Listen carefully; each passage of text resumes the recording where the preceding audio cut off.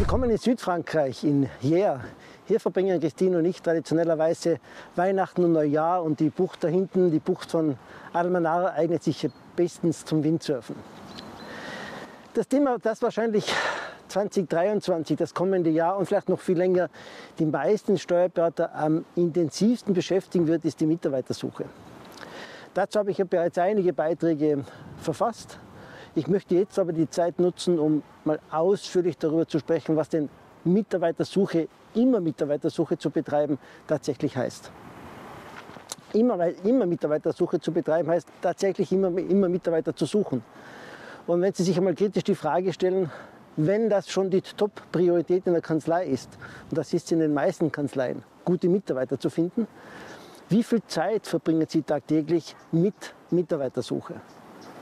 Sich diese Frage mal zu beantworten, wie viel Zeit Sie tatsächlich als Inhaber, Partner, Führungskraft einer Kanzlei mit Mitarbeitersuche verbringen. Einen Teil der Zeit könnte man werden, äh, wenn Sie die bestehenden Mitarbeiter ausgezeichnet führen. Diese Zeit ist gut eingesetzte Zeit, da Sie den größten Hebel im bestehenden Team ja zur Verfügung haben. Wenn die bestehenden Mitarbeiter sehr positiv von der Kanzlei sprechen, haben sie schon sehr viel geschafft. Aber neben dieser Führungszeit sich die Frage zu stellen, wie viel Zeit verbringe ich als Inhaber, Partner, Führungskraft tatsächlich jeden Tag damit, Mitarbeiter zu suchen. Da bleibt dann oft gar nicht mehr so viel übrig. In größeren Kanzleien werden dafür Mitarbeiter eingestellt, deren einzige Aufgabe ist, die Mitarbeitersuche zu professionalisieren und sie durchzuführen. In kleineren Kanzleien, mittleren Kanzleien leidet das oft. Aber selbst in größeren Kanzleien empfehle ich den Partnern, Inhabern, Führungskräften, sich auch tagtäglich mit Suche zu beschäftigen. Was ist damit jetzt gemeint? Schauen wir uns mal die Kandidaten in einer gewissen Struktur an. Die erste Struktur ist, sie suchen äh, Auszubildende, sie suchen jemanden, der von der Schule kommt, der von der Uni kommt, der von der Fachhochschule kommen sollte. Also Berufseinsteiger, die eine adäquate Ausbildung haben, also eine Ausbildung zum Einstieg in den Beruf. Echte Mitarbeitersuche bedeutet, dorthin zu gehen, wo diese jungen Leute sind. Zu den Schulen, zu den Fachhochschulen, zu den Universitäten. Sei es als kleiner Lehrauftrag, sei es als Aktivität. Sie müssen dort präsent sein, wo diese Menschen sind. Eine andere Zielgruppe sind die Quereinsteiger. Quereinsteiger, das heißt, die andere Berufsausbildung haben und in die Steuerberatung wechseln wollen.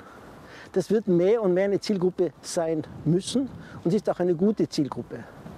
Hier bedeutet Suchen tatsächlich jedem Menschen, den Sie treffen, anzusprechen und klar zu sagen, dass Sie Mitarbeiter suchen, übrigens egal in welcher Qualifikation. Dass jeder, der ein grundsätzliches Verständnis für Zahlen hat und äh, mit Leuten auch umgehen kann, ist einmal bei Ihnen gut aufgehoben.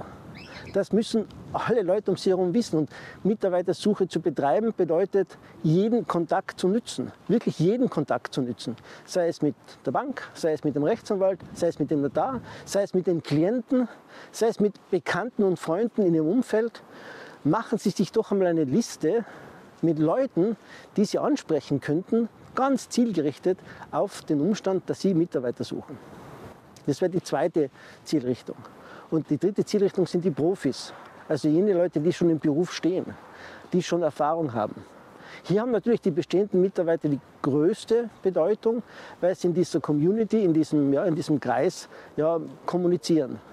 Aber auch dort ist die beste Chance, dorthin zu gehen, wo diese Mitarbeiter sind. Auf den Ausbildungen, in den Fortbildungen, bei den Seminaren und diese Seminare auch zu benutzen, um Leute anzusprechen. Dass es tatsächlich bekannt wird, dass sie laufend auf Mitarbeitersuche sind. Und damit da wirklich Zeit damit zu verbringen, Zeit zu investieren. Eine Besonderheit gibt es noch für die Steuerberatung. Neben den vielen Dingen, die ich schon äh, geschrieben und äh, beschrieben habe. Es gibt einen bekannten Satz, der lautet, Mitarbeiter entscheiden sich für Firmen und verlassen Chefs. Also dass sich Menschen für eine Firma entscheiden, weil sie die Führungskräfte noch nicht kennen. Und wenn sie irgendwo Weg gehen, dann verlassen sie meistens den Chef, also den unmittelbaren Vorgesetzten meistens sagen das die Leute nicht, wenn, wenn sie äh, die Firma verlassen. Sie haben meistens andere Argumente, wieso sie die Firma verlassen. Dieser Satz Menschen entscheiden sich für Firmen und verlassen Chefs, sehe ich in der Steuerberatung etwas anders.